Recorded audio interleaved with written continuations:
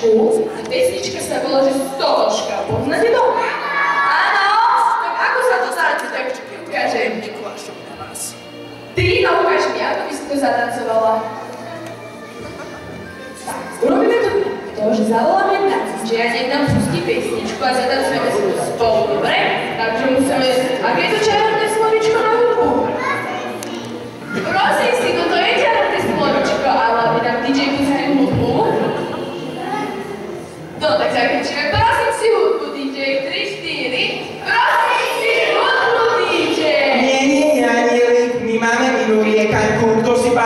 Čo si pamätá? Čo ti vás učil?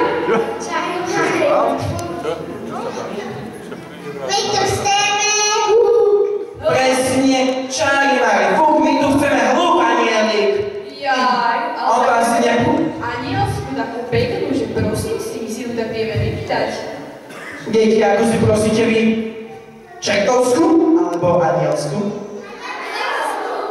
No dobre teda. Takže vypýtame si ešte raz. Prosím si hudbu, DJ. To bolo Lavi Tichučka, prosím.